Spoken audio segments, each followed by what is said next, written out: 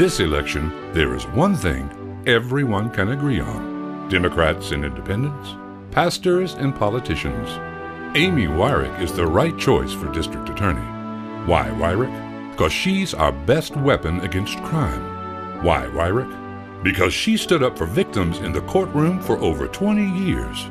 As the district attorney, Amy Weirich has sued landlords to clean up neighborhood blight, protected victims of domestic violence, and fought to keep gangs and narcotics away from our kids. She'll go after businesses that prey on our seniors and stop anyone who threatens our community. Why Weirich? Because she is fair and just. And as Mayor A.C. Wharton put it, we can trust her to make the right decisions for Memphis and Shelby County. Amy Weirich, our DA, your DA, my DA. Paid for by the Committee to Elect Amy Weirich.